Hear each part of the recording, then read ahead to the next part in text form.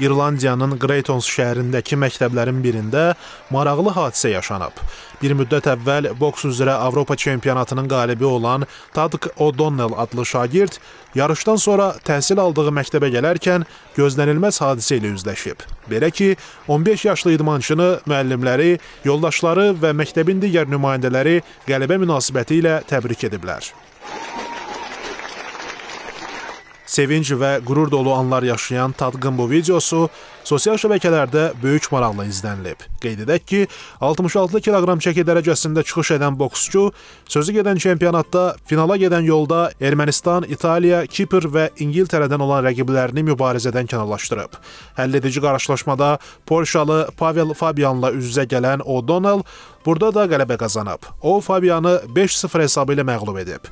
Bu nəticə ilə Tadq O'Donnell yekunda fəxri kürsünün ən yüksək pilləsinə qalxıb.